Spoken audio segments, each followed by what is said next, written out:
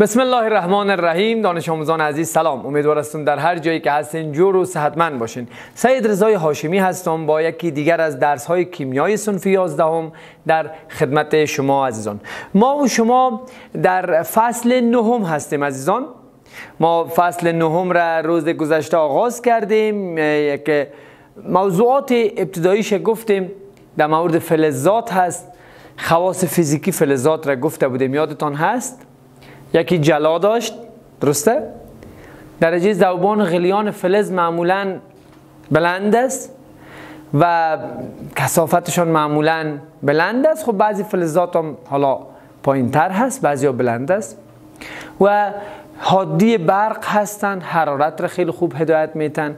اینا خصوصیات فلزات بود به صورت کل کل فلزاتی گپار همراه خود داشتن.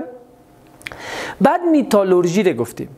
تعریف کردیم علمی است که برای خالص سازی فلزات استفاده میشه سه مرحله داره. ما در درس امروز قرار است که در مورد همو میتالورژی دو بخشش با همدیگه مطالعه کنیم ازا خب اولین مرحله در میتالورژی بود تهیه کردن سنگ معدنی یعنی استخراج اون سنگ معدنی از بین معدن. در کو شما می‌کنین کل از سنگ سنگ که کنده شده خود سنگ معدنی نیست. یک مقدارش خاک است گل است مواد به درد نخور است مواد اجنبی است. و ما و شما یک قسمتش که سنگ معدنی است باید اول او را به دست بیاریم. در بخش اول همیره می‌خوانیم. باز در بخش دوم میریم. ایره می‌بینیم که وقت سنگ معدنی رو به دست آوردیم از سنگ معدنی باز فلز را چه قسم به دست بیاریم؟ آیا این درس در زندگی روزمره به درد ما می‌خوره؟ خب عزیزا در اصل این درس روش استحصال فلزات است. یعنی بر ما یاد میته کار کارخانه ای هست. خب ما فلز رو معمولا در ما بین خانه های خود استحصال نمی کنیم دیگه. اما بر ما میگه که به این مدل ها شما می‌تونین که فلزات را به صورت عموم به دست بیارید خب میریم به سمت اولین مرحله. میگیم اولین مرحله استخراج فلزات جداسازی سنگ های معدنی آن از مواد اجنبی یعنی خاک و غیره می باشد در شروع کار شما اولین کاری که می‌کنین باید این می خاک از چیکار کنین؟ جدا کنین ما این سنگ خاک را می‌خواهیم جدا کنیم از سنگ معدنی به چه مدل می‌تونیم جدا کنیم؟ خب حتما طریقه های مختلفی باید وجود داشته باشه. در ذهن شماها چی میگرده یعنی ما به کدام طریقه ها می‌تونیم که بیاییم خاک و مواد بیگانه به درد نخور از مواد معدنی جدا کنیم میشه خب روش های مختلفی را گفتم که وجود داره دانشمندا روش های متفاوتی را کار گرفتن. اما معمول ترین روش ها که خیلی استفاده میشه ای سه روش هست. اول شناورسازی. تقریبا یک و سال پیش شروع کردن. برای اولین بار این طریقه شناورسازی را یک و سال پیش تقریبا این روش ابداع شد. با وجود آمد توسط انگلیسی ها روش مغناطیسی که بعدا باز با وجود آمد تشکیل ملغمه. که خب حالا خواد دیدیم که اینا چی هستن با هم دیگه در موردشان بحث می‌کنیم. اولین گپ شناورسازی است ببین در شناورسازی چی میشه؟ خب مواد معدنی هم اصلا کلا مواد که گرفتین اول سنگ میده میده می‌کنن میارن میدگیش امو در داخل ازمی سطح ناهموار داره این اینجا آب هم انداخته میرن.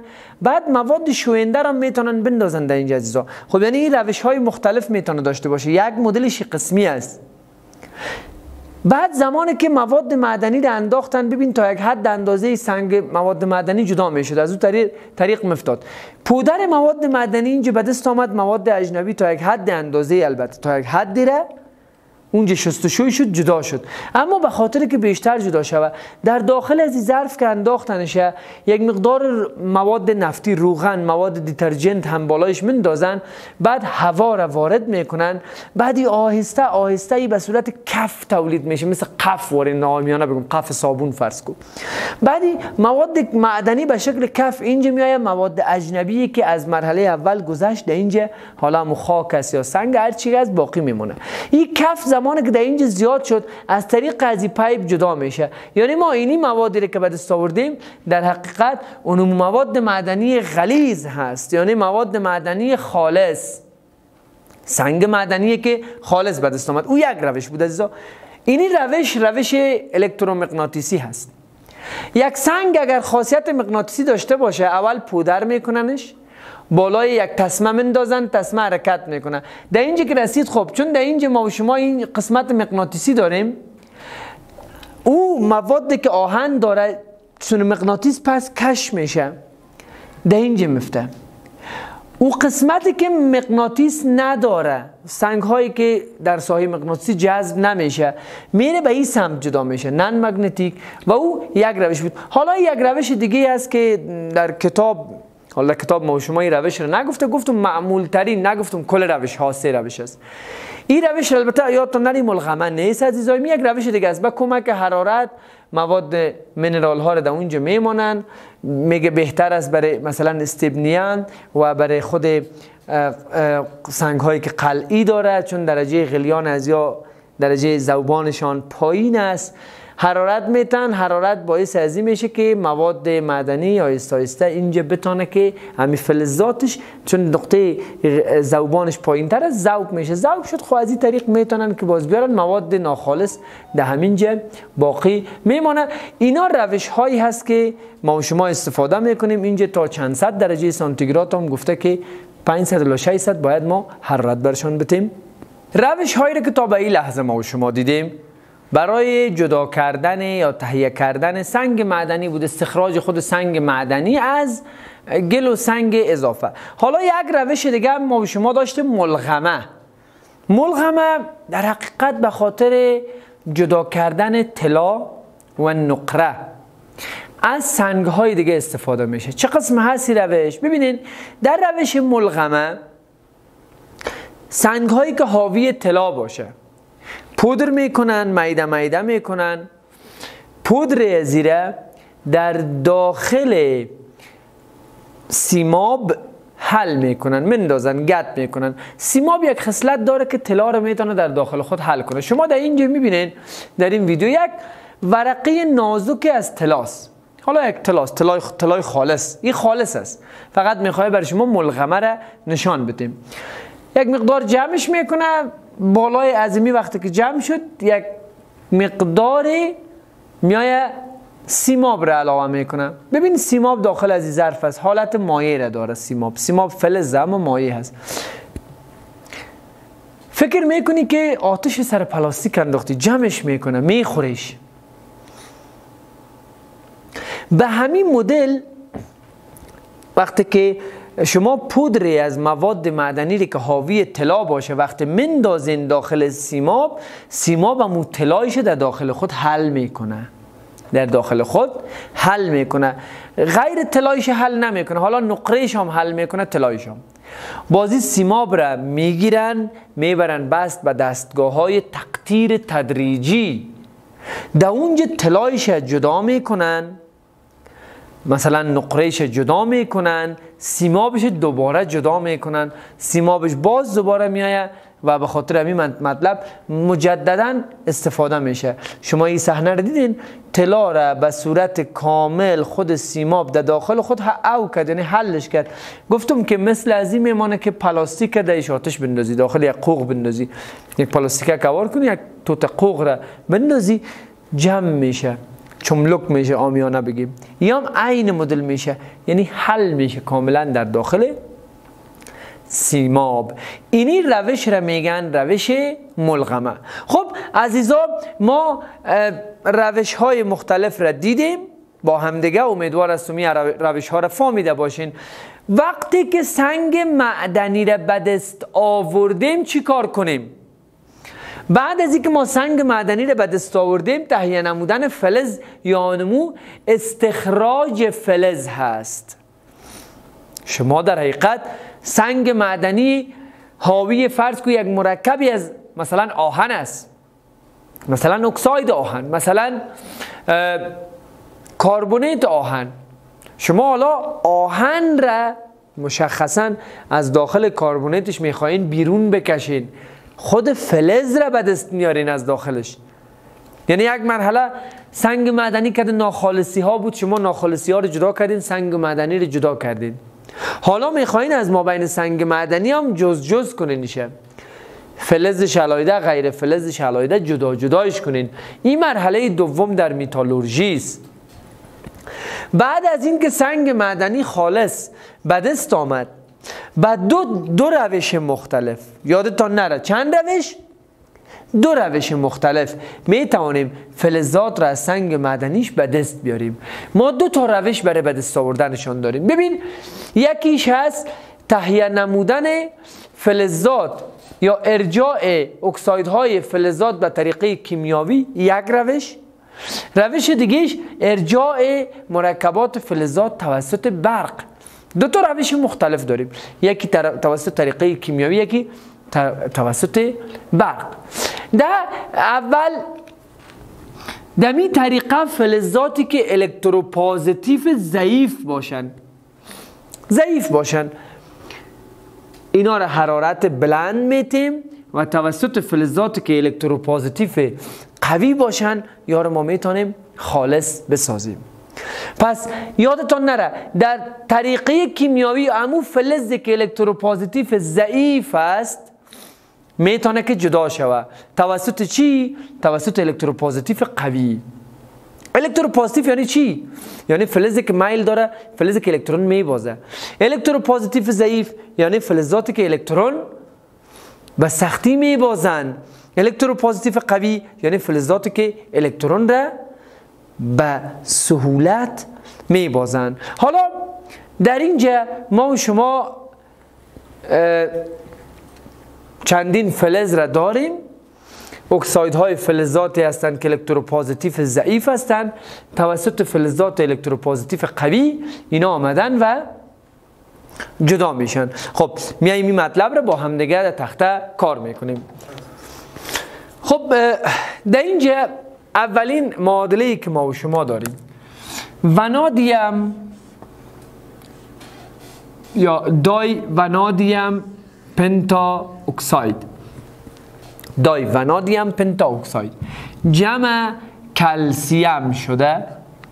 درست است؟ جمع کلسیم. برای ما و شما ساخته. vanadium جدا شده. calcium oxide جدا شده. ما اینه میگیم طریقه ارجاع و هم توسط طریقه کیمیاوی. یعنی چی اصلا؟ ببینید اینجا ونادیم چارجش مثبت پنج است. در حالی که ونادیم اینجا چارجش شده صفر. اول خب همین پایین آمدن به معنای ارجاع هست. اینجا چارج پایین آمده. دوم چون در توسط یک تعامل کیمیاوی همین صورت گرفته اینه میگیم طریقه کیمیاوی.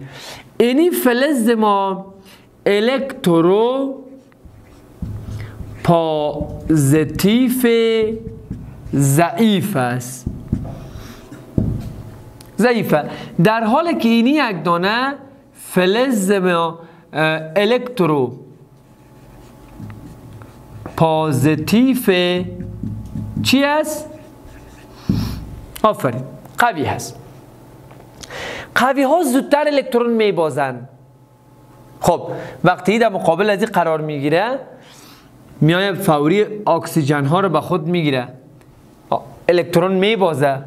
چارجش میشه مثبت دو چارج از این منفی دوست دو تا الکترون هر هر کلسیم دو تا الکترون میبازه. خب این پنج تا الکترون ضرورت داره که شود صفر. پنج تا. پنج دانه کلسیم میایه هر کدامش دو دو دانه میبازه. دو دو دانه. پنج دانه کلسیم و ده تا الکترون باخته. پنج دانه از او الکترون ها رو یکی از این ونادیم ها می‌گیره. پنج تای دیگهش یکی دیگهش دو تا ونادیم آزاد میشه. ببین دو تا ونادیم داری هر کدامش پنج دانه الکترون ضرورت داره که آزاد شود. پس مجموعا هر دو ده تا الکترون ضرورت داره. هر کلسیم دو تا الکترون میبازه. پس اینجا ما شما پنج کلسیم ما کلا ده تا الکترون را باخت کلسیم ها با اون ترتیب میایه و باز به خاطر توزینش دیگه شما بازی رو می‌تونین توزین کنین. یک دانه پنج که اینجا بانین مکمل کار جور میشه. و مثل از این دیگرایش ما یک دانه معادله دیگه شما میایم بر شما از اینجا کار می‌کنم. داریم به این ترتیب جمع مگنیزیم. تیتانیم است. تی آی تیتانیم. به همراه مگنیزیم کلوراید را می سازه تیتانیم در اینجا چارجش مثبت 4 است. اما در اینجا چارجش شده صفر. ارجاع شده. تیتانیم الکتروپازیتیو ضعیف است در حالی که مگنیزیم قوی هست مگنیزیم فوری دو دانه الکترون خود میبازه اینجا مثبت دو میشه. هر کلورین منفی یک است. هر دانش منفی یک. دو تای شکد خود می‌گیره مثبت دو منفی به حساب دو دانه منفی یک را. پس دو دانه منفی یک ما منفی دو میشه که از این خونسا میشه برابر میشه. اینجا دو تا الکترون رو برای ازی میته خب این چارجش از چار به دو پایین میآید. ببین مثبت چار دو تا الکترون می‌گیره. چارجش از چار میشه دو. بعد یک دانه مگنیزیم دیگه هم دو تا الکترون بر ازی میبازه. که از دو دفعه میشه صفر. دو تا مگنیزیم دیگه هم میایه هر به می ترتیب یک مولکول دیگر می‌تونه بسازه. بنابراین اینی روش میشه روش ارجاع خود فلزات. دیگه معادله هایش رو هم شما می‌تونین که پیش خود کار کنین. باشه من حیث کار خانگی تان شما عزیزا که ما رو می‌بینین اینا خب درسای کتاب کیمیای صنف 11 نصاب تعلیمی افغانستان است. پس نظر به امو کتاب اینا تمامش در است. می‌تونین از اونجا استفاده کنین و کارش کنین. اینا رو پیش خودتان تحلیل کنین که به چه ترتیب ما کار کردیم و چگونه اینا تانستن که ایره جدا کنن. میریم به مرحله بعدی به اصطلاح دومین روش. ارجاع مرکبات و فلزات توسط برق. ببین در, در ضعیف الکترو ببخشید در طریقه کیمیاوی اونو فلزاتی که electropositive ضعیف بود جدایش کرده. اما در طریقه برقی اگر فلز electropositive قوی باشه باز توسط طریقه کیمیایی ما رو جدا کرده نمی‌تونیم. چون هر دو فلز زور است. زور از این فلز اون نمی‌رسه که او ره از جایش بیجای کنه. اینجا ما چی کار می‌کنیم؟ میاییم از برق استفاده می‌کنیم. فلزات مثل سودیم را توسط الکترولیز به دست میاریم. المونیم را توسط الکترولیز به دست میاریم. مگنیزیم را یعنی فلزات گروپ اول دوم و سوم.